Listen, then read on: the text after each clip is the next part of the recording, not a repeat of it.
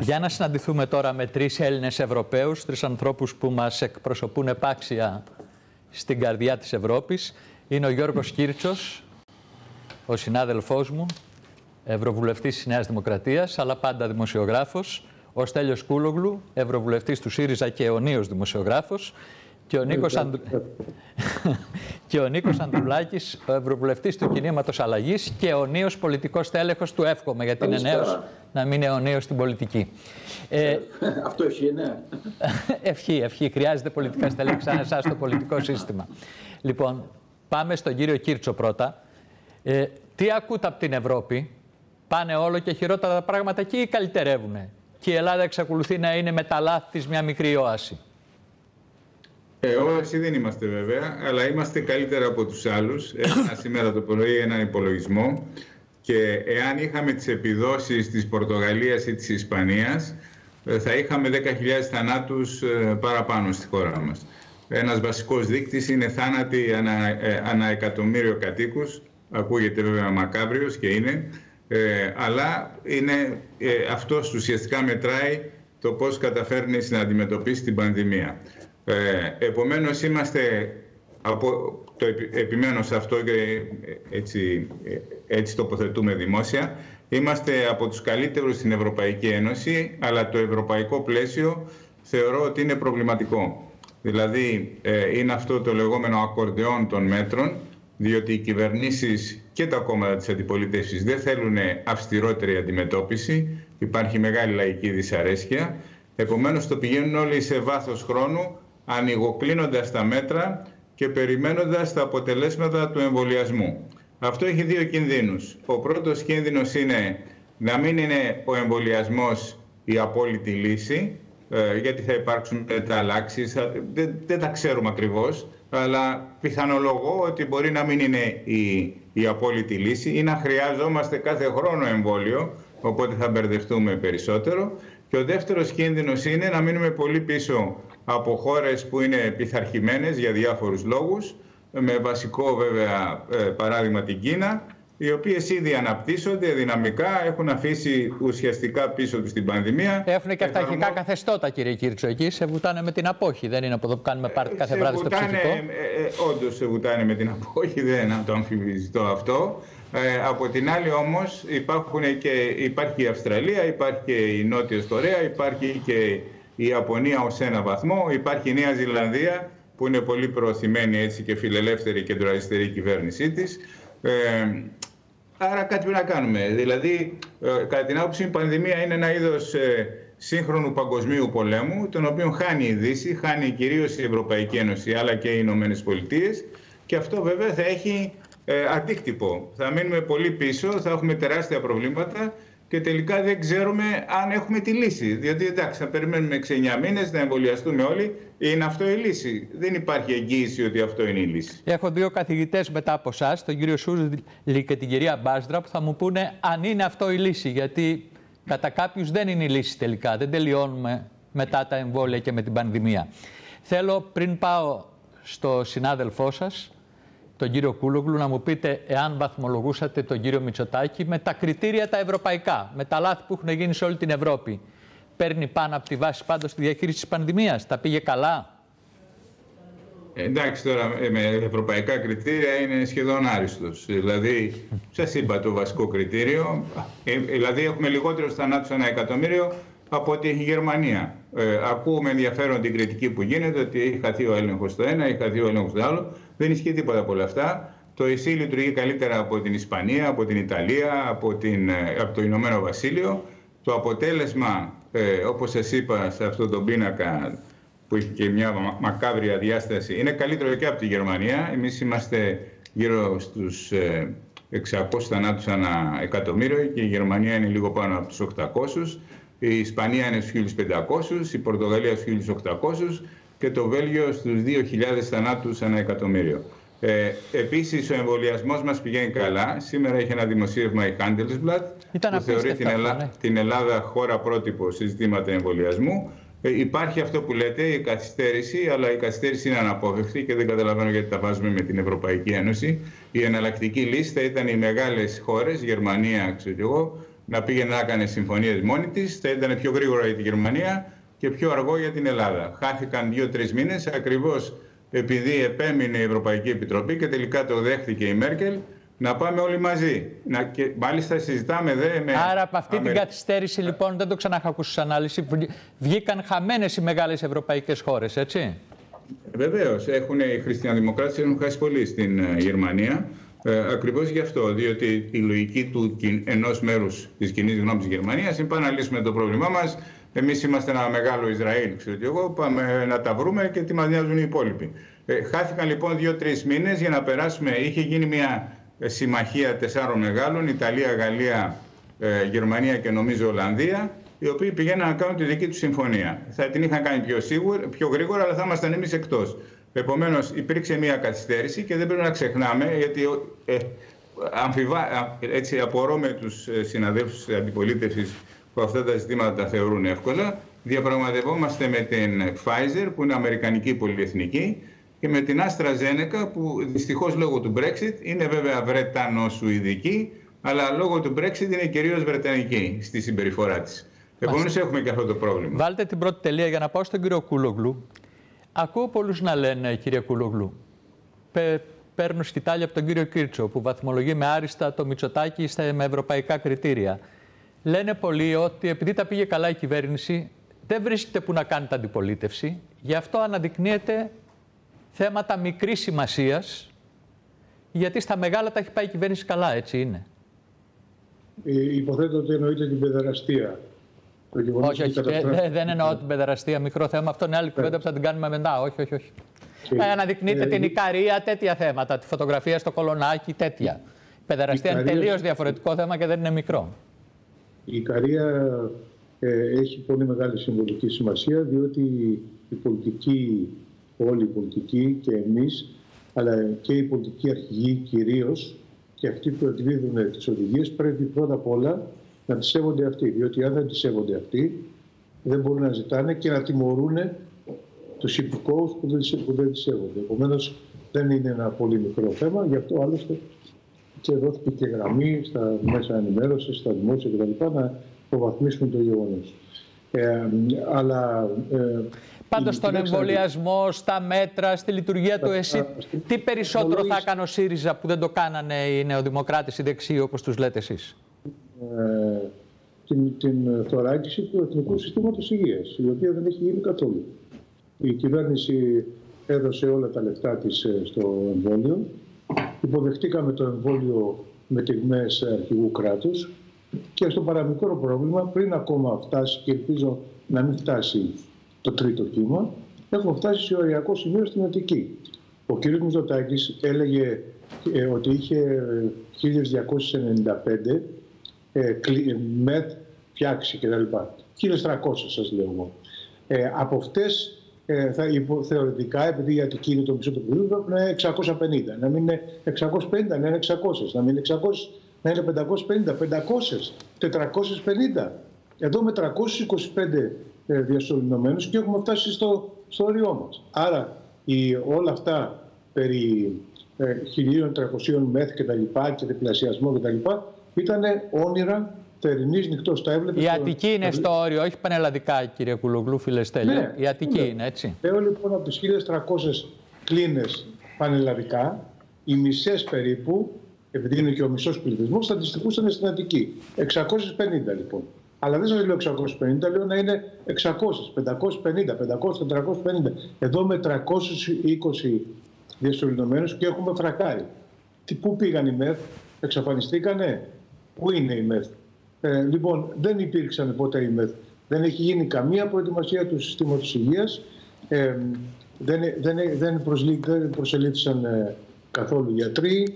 Ε, τα σχολεία δεν αραιώθηκαν, τα μέσα μαζικής ενημέρωσης δεν αραιώθηκαν και ρίξαμε όλα τα, τα, τα χαρτιά μας, όλα τα λεφτά μας στο, στο εμβόλιο. Και με το που έγινε αυτή η καθυστέρηση ε, στο εμβόλιο, έχουμε, αντιμετωπίζουμε πρόβλημα και ενδεχομένως να μην μπορέσει να τελειώσει όλος αυτός ο κύκλος μέχρι το, το καλοκαίρι έτσι ώστε να δουλέψει και ο τουρισμός και όλα, ε, και όλα αυτά.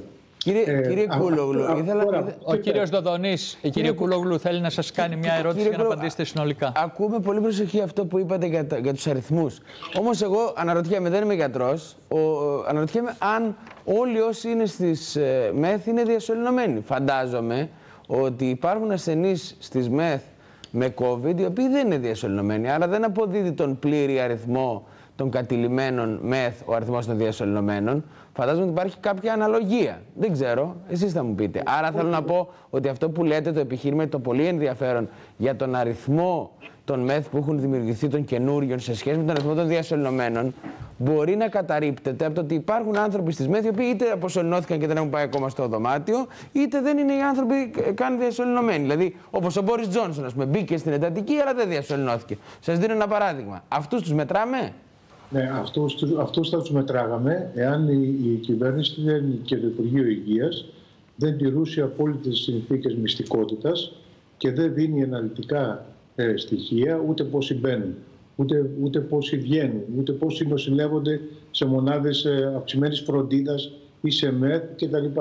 Ε, δίνει ελάχιστα στοιχεία και γι' αυτό ε, σχετικώς πιθανολογούμε. Αλλά θέλω να σας πω ότι και αυτό που λέω είναι, γι' αυτό έκανα και αυτές τις εκτόσεις από το 650 εσέπεδα, είναι ότι αυτή τη στιγμή χωρίς να έχουμε τρίτο κύμα έχουμε πρόβλημα. Η Πορτογαλία που πήγαινε μέχρι τώρα και αυτή πολύ καλά πήγαινε και είναι αντίστοιχο μεγέθους με τη δική ε, από τι χτυπήθηκε; Χτυπήθηκε από το τρίτο κύμα, έχει, είναι πιο κοντά στο κέντρο της Ευρώπης, χτυπήθηκε από την, ε, από, από την ε, μετάλλαξη την, την, τη Βρετανική ε, που είναι πολύ μεταδοτική κτλ. Και γι' αυτό αντιμετωπίζει αυτό το πρόβλημα σήμερα. Εάν συγκριθούμε εμείς με τις χώρες της Βαλκανικής, ε, τότε ε, θα πρέπει να βαθμολογήσουμε τον κύριο Μπορίσοφ ε, της ε, Βουλγαρίας με αρκετές σχέσεις και με τη μαφία, να του βάλουμε καλύτερο, καλύτερο, αριθμό, καλύτερο βαθμό από τον κύριο Μητσοτάκη, γιατί έχουν ε, λιγότερο αριθμό νεκρών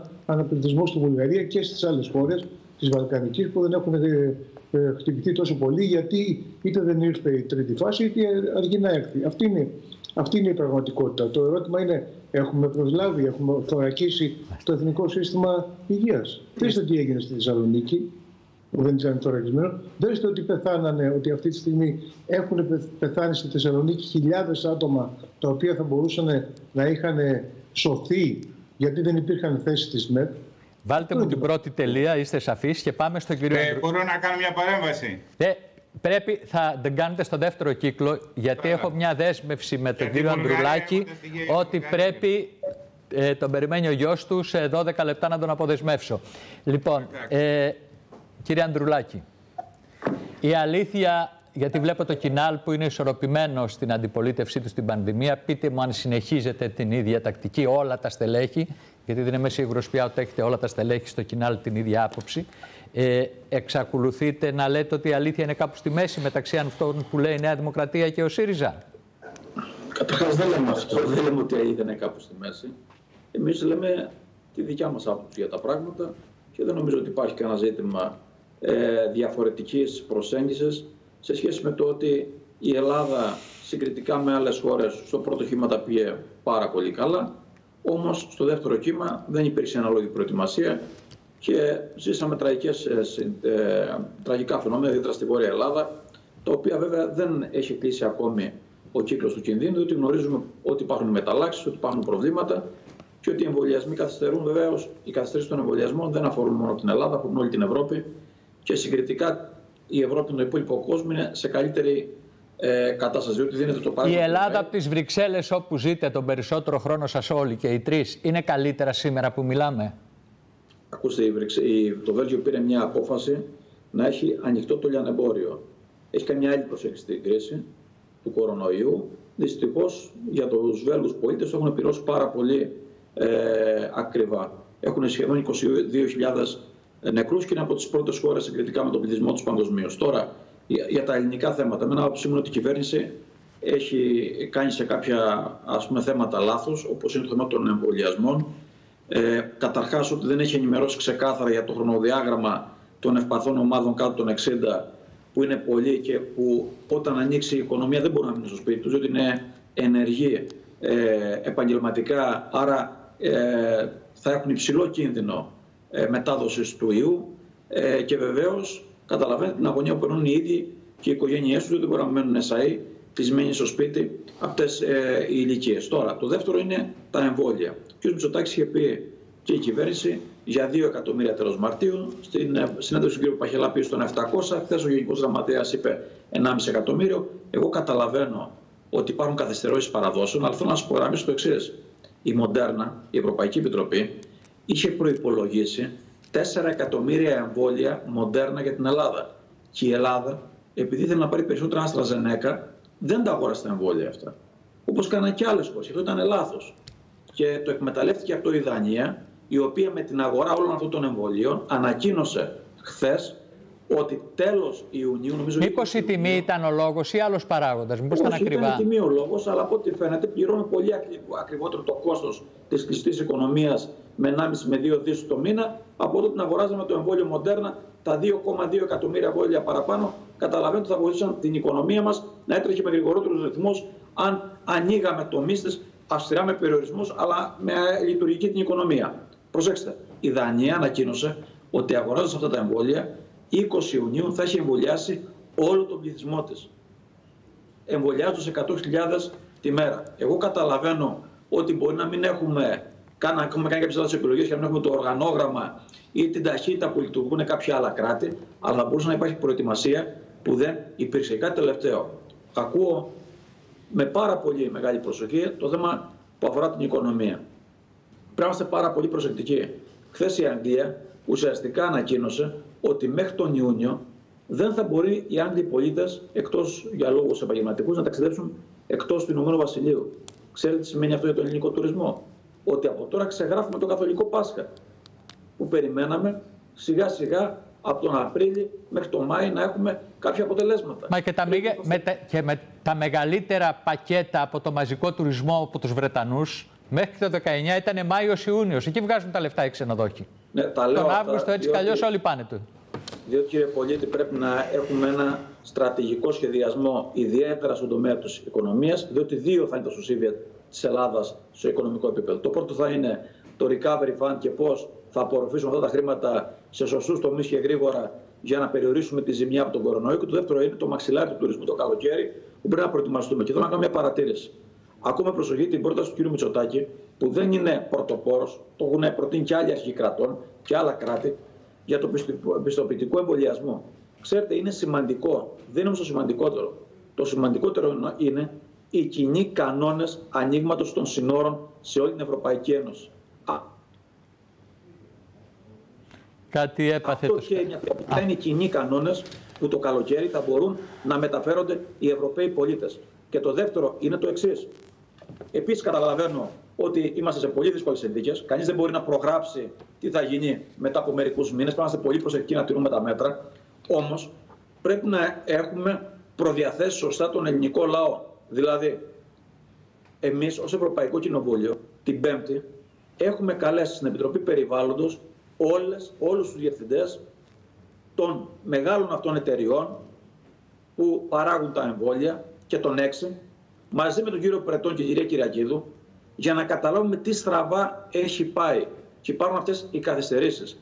Για να πιέσουμε να έχουμε πιο εύκολη και γρηγορότερη την πρόσβαση. Και το λέω αυτό διότι δεν μπορούμε να σηκώνουμε πολύ ψηλά τον πύχη και να υπάρχει συνεχώς μια απογοήτευση από τον ελληνικό λαό που περιμένει συνεχώς ότι κάτι θα αλλάξει ραγδαία, ενώ γνωρίζουμε πολύ καλά ότι αυτό το πράγμα που ήρθε στο τσουνάμι θα σβήσει ως κύμα σιγά σιγά. Και πρέπει να προετοιμαζόμαστε γι' αυτό. Προσέξτε, η ΡΑΗ προχθές ανακοίνωσε το συμβόλαιο της Άστρα Ζένεκα.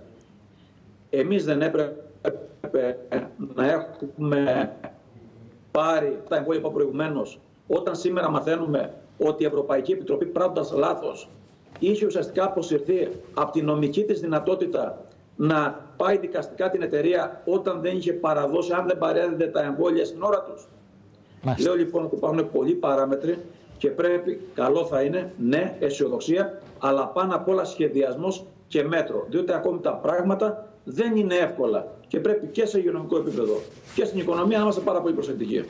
Κύριε Ανδρουλάκη, σε ευχαριστώ πάρα πολύ. Σας αποδεσμεύω για να είμαι συνεπής σε αυτό που συνοηθήκαμε και επιστρέφω στον κύριο Κίρτσο. Πώς Ναι. τα καταφέρατε ως, νέος, ως Νέα Δημοκρατία και τρώτε ξύλο για μια υπόθεση θλιβερή και σοκαριστική, ιδιαίτερα για όσους έχουμε παιδιά, έτσι, έχουμε πανικό και οργή.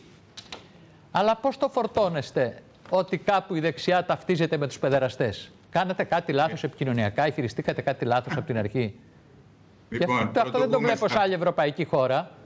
Ναι, ναι. Δεν είναι Ε, διακομματικοί οι πρωτοβούμε- παιδεραστές, δεν είναι από όλα τα κόμματα. Ναι.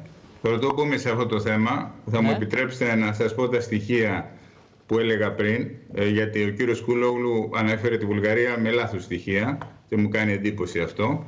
Λοιπόν, θάνατοι από πανδημία ανά εκατομμύριο κατοίκους. Είναι προχθεσινά στοιχεία, τα είχα βάλει και στο Twitter. Βέλγιο 1900 ανά εκατομμύριο. Σλοβενία 1798. Ηνωμένο Βασίλειο 1782. Τσεχία 1755. Ιταλία 1573. Πορτογαλία 1534 ένα εκατομμύριο. Ουγγαρία δεν είναι η θεωρία ότι οι άλλοι είναι στο κέντρο είναι αξιοπερίεργη 1448. Ισπανία 1466. Βουλγαρία 1402 ανά εκατομμύριο θάνατοι. Ελλάδα, μεσολαβούν βέβαια καμιά 25, 15 άλλοι. Ελλάδα 580. Η διαφορά μας με τη Για πάτε. Βουλγαρία είναι 900 θάνατοι ανά εκατομμύριο, ε, δηλαδή μια τεράστια διαφορά. Και εάν είχαμε την αποδοτικότητα έτσι ας πούμε της Ισπανίας που συνήθως είναι το πρότυπο του ΣΥΡΙΖΑ λόγω της συμμετοχής των Ποντέμος στην κυβέρνηση θα είχαμε 10.000 νεκρούς παραπάνω στην Ελλάδα. Επομένως, αν αυτά τα... Για πάτε λίγο πιο αν- κάτω στον κατάλογο. Ε, Στον κατάλογο μέχρι πιο εκεί κάτω. έχω. Ε, με- ε, Είχα βάλει τους 10 πρώτους, μετά ακολουθούν κι άλλοι, αλλά στο Twitter Κάτω δεν από την χωράνε. Ελλάδα. Κάτω από την Ελλάδα. Για... Εντάξει, κάτω από την Ελλάδα, εν πάση περιπτώσει στα Βαλκάνια και εκεί είμαστε από τους καλύτερους. Δεν είναι, δηλαδή, ε, Βοσνία, Ερζεγοβίνη, αν πάμε εκεί, αλλά ε, τέλος πάντων η Βουλγαρία μας ενδιαφέρει γιατί έψαγνα τα, τα, μέλη της, Ευρω- τα κράτη-μέλη της Ευρωπαϊκής Ένωσης και το Ηνωμένο Βασίλειο.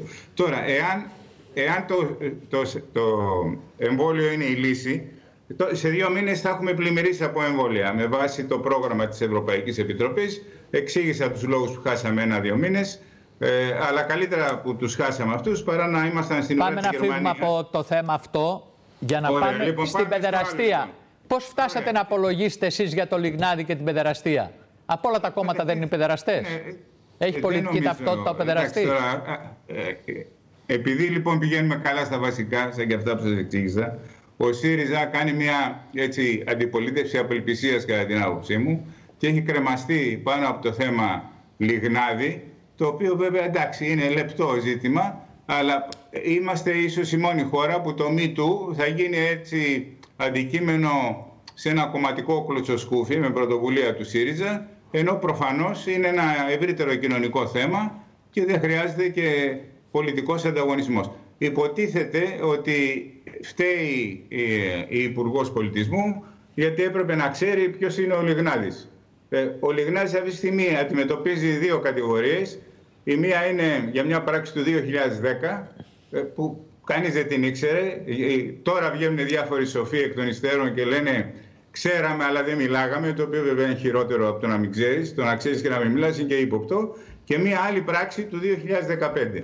Το 2015, επειδή δεν ήταν χθεσινό στο ε, Εθνικό Θέατρο, ήταν ήδη στέλεχος του Εθνικού Θεάτρου, δεν ήταν καλλιτεχνικός διευθυντής, αλλά είχε άλλα αξιώματα. Επομένως, με αυτή τη λογική ότι έπρεπε να ξέρει το ερωτικό παρελθόν, το διαστραμμένο κατά τα φαινόμενα ερωτικό παρελθόν του Λιγνάδη, ε, δηλαδή μόνο, μόνο ο ΣΥΡΙΖΑ μπορεί, να το, ο ΣΥΡΙΖΑ μπορεί να επινοεί τέτοια πολιτικά επιχειρήματα στη δημοσκοπική του απελπισία. Με την ίδια λογική πρέπει να παραιτηθεί ενδεχομένως και ο Τσίπρας, διότι έκανε υπουργό έναν, δεν θυμάμαι καν το όνομά του, ηθοποιό, ο οποίος κατηγορείται από πέντε γυναίκες ότι εξπερμάτωνε στα φορέματά τους, τις κυνηγούσε να τις βιάσει κτλ.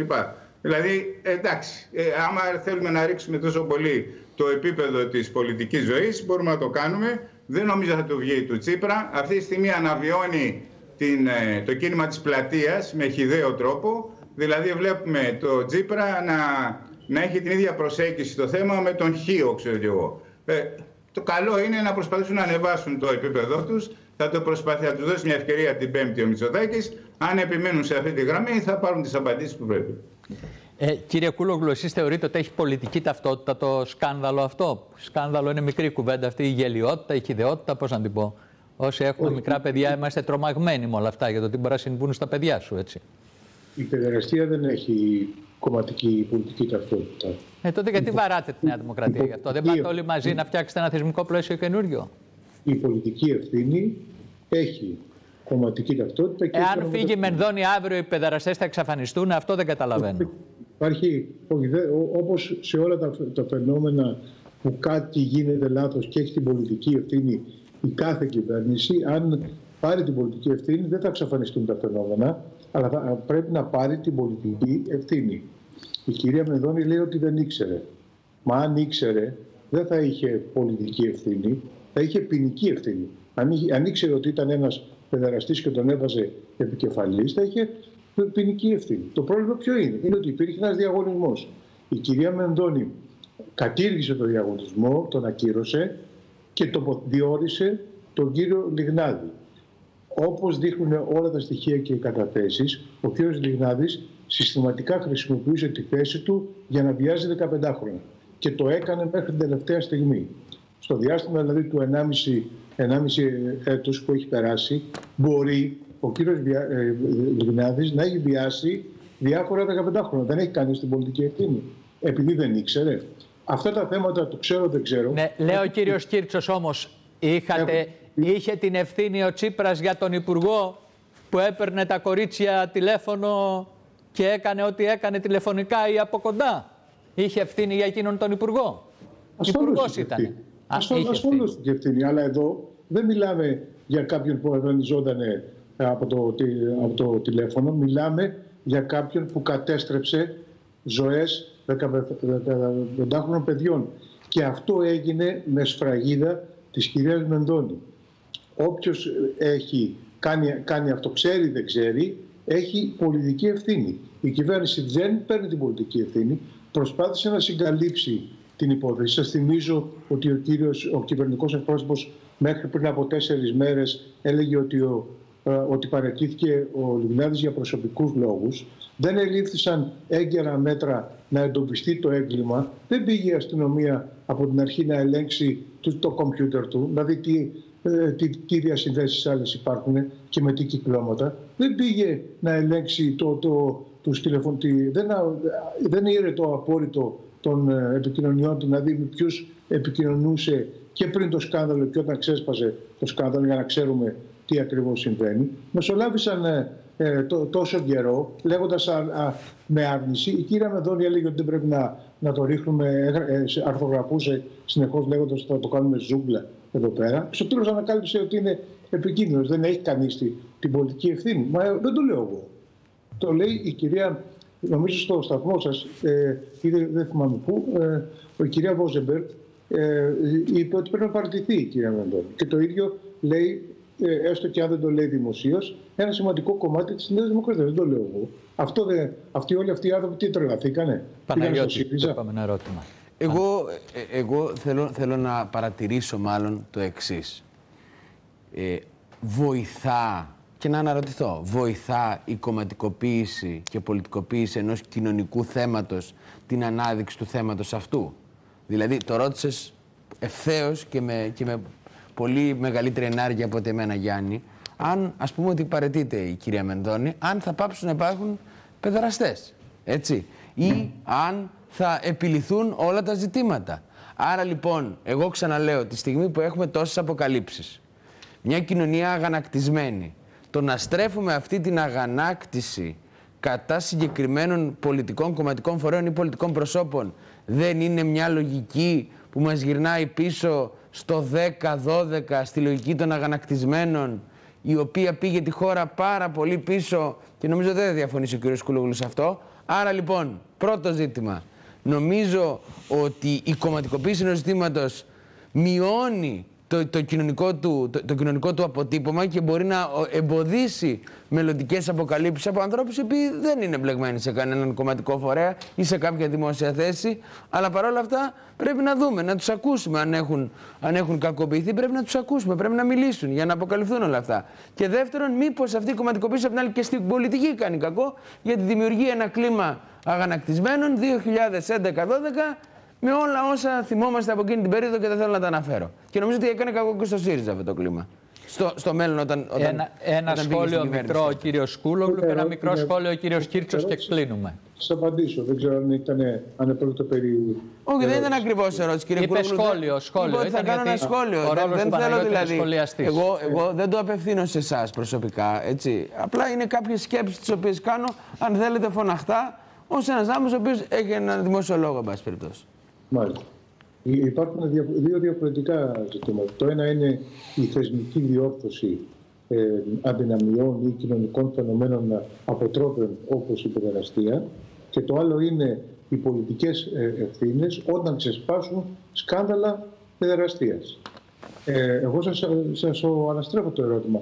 Θα θέλατε ο 15χρονος γιος σας ή ανιψιός σας ή οτιδήποτε άλλο να έχει βιαστεί από τον κύριο Λιγνάδη αξιοποιώντας τη θέση του ως ε, καλλιτεχνικός διευθυντή του Εθνικού Θεάτρου. Συγγνώμη να σας ρωτήσω όμως κάτι. Θα είχατε βάλει επί εκκρεμών ποινικών υποθέσεων, όταν μιλούμε, γιατί η αγανάκτηση κοινωνική είναι πολύ σημαντική και βοηθά μέχρι υπόθεση να φτάσει ενώπιον της δικαιοσύνης.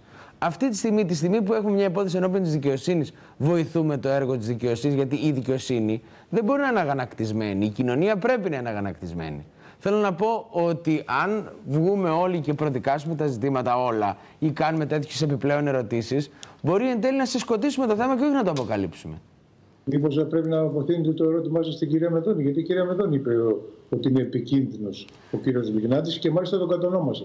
Μέχρι τότε, αν θυμάστε, μιλάγαμε όλοι για κάποιον γνωστό ηθοποιό και σκηνοθέτη. Η κυρία Μεντώνη είπε ότι είναι ο ίδιος. Προδίκασε τη δικαιοσύνη, την επηρέασε, ε, έριξε ε, το, στον, στον όχλο τον, ε, τον κύριο Λιγνάδη. Όχι, ο κύριος Λιγνάδης έχει όπως όλοι οι άνθρωποι το δικαίωμα να υπερασπίσει τον εαυτό του, να αρνηθεί τις κατηγορίες κτλ.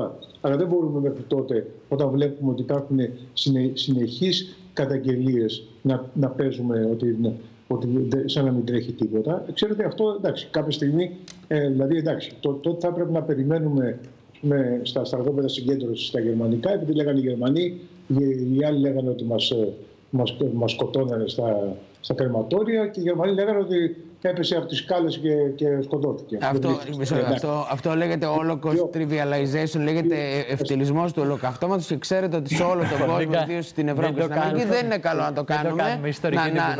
Να, να, ευτελίζουμε το. Εντάξει, μπορώ να πω και εγώ. Ένα σχόλιο, κύριο Σκύρτσο. Δηλαδή, φτάνει με αυτή την παρομοίωση. Όχι ιστορικό, που να μου φωτίσετε την επόμενη μέρα σε μια εβδομάδα θα κουβεντιάζουμε τα ίδια, αν φταίει η Νέα Δημοκρατία ή ο ΣΥΡΙΖΑ, ή θα βρούμε έναν τρόπο να περιορίσουμε ε, τη δράση των παιδεραστών. Θεωρώ με, βά, με βάση την τακτική του ΣΥΡΙΖΑ. Ποσό μα ενδιαφέρει τους γονείς πάντως αν φταίει η Νέα Δημοκρατία ή ο ΣΥΡΙΖΑ. Ε, Ένα θεσμικό πλαίσιο πιο ισχυρό θέλουμε. Επομένως θα κάνουμε αυτή τη συζήτηση ε, και νομίζω θα την εγκαταλείψουμε όταν και σε αυτό το θέμα δει ο ΣΥΡΙΖΑ ότι δεν μπορεί να περάσει τη γραμμή του. Αυτό που θέλω να πω είναι το εξής. Καταρχήν ο κύριος Κούλογλου έκανε μια υπέρβαση. Ε, άφησε να εννοηθεί ότι τι, ε, αν καταχράστηκε τη θέση του στο εθνικό, ε, δηλαδή σαν καλλιτεχνικός διευθυντής. Βέβαια δεν υπάρχουν καταγγελίες για την περίοδο που ήταν διευθυντής, διότι αν υπάρξουν καταγγελίες για την περίοδο που είναι διευθυντής, το πράγμα θα λάβει άλλη διάσταση. Γιατί όντως θα έχει κάνει κατάχρηση τη θέση του.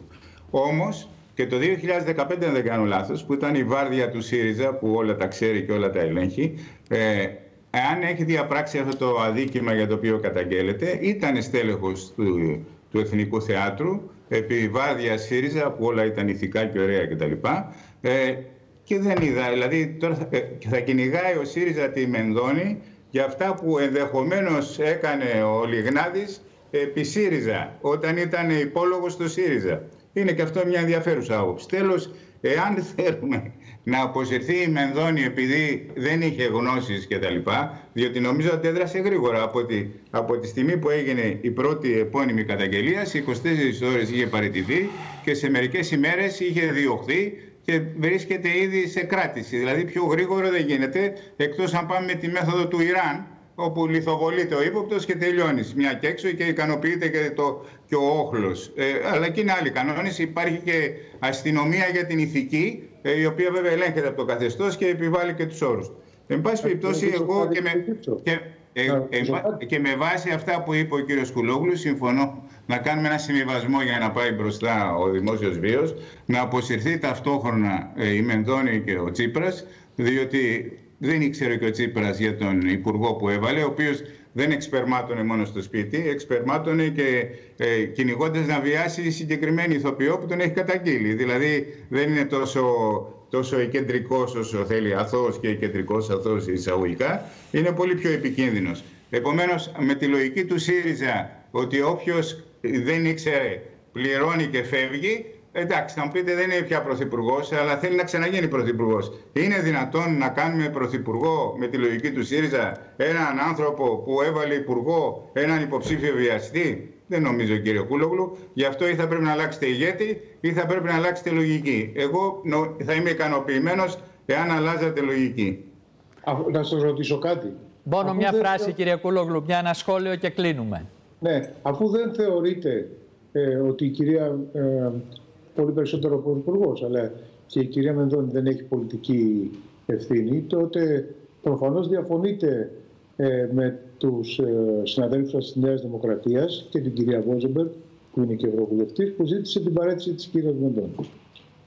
Εντάξει, κάνετε μια συζήτηση με την κυρία Βόζεμπερ, η οποία ε, έχει τις απόψεις της, αλλά δεν, εγώ δεν δεσμεύομαι από την άποψη της κυρίας Βόζεμπερ, ελπίζω να το καταλαβαίνετε. αυτό. Ε, ε, και θα σας πω το εξής, ότι ε, προφανώς έχει μια ευθύνη γιατί έκανε μια επιλογή που δεν βγήκε, αλλά ευθύνη στο στυλ ε, να την καρατομήσει ο Πρωθυπουργός ή να, τέλος πάντων, να πέσει και η κυβέρνηση που απαιτούν ορισμένοι συνάδελφοί σας ή κάθε εβδομάδα θέλουν και μια παρέτηση ε, και για να κάνετε και όλο αυτό το show ε, η μισή το παίζετε κάπως αξιοπρεπής, η άλλη μισή περιγράφεται ένα κόμμα υποτιθέμενων παιδεραστών. Ε, τέτοια χάρη πολιτική δεν νομίζω ότι μπορούμε σας να κάνουμε. Ευχαριστώ, σας ευχαριστώ, είστε και δύο απολαυστικοί ομιλητές.